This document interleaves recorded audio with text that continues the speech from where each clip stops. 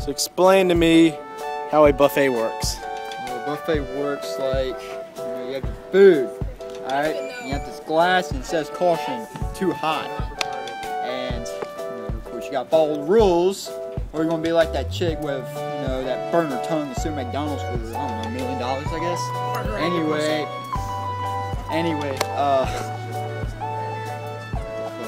Anyway, so you have your glass, and you have your food, and you have your spoons. Get the spoon, flip it.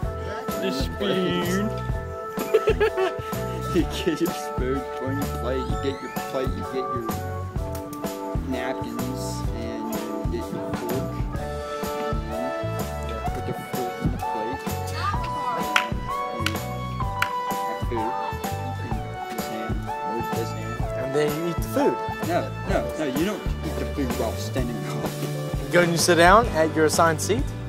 Yes. In the then- restaurant. and then they get What is your what what is the best buffet themed restaurant?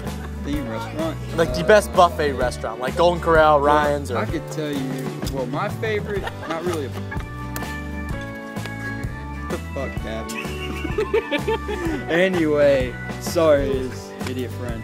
Anyway, um, what is, what is your favorite buffet yeah, my favorite restaurant? theme, my favorite restaurant. Your best, the favorite buffet restaurant. Uh, definitely.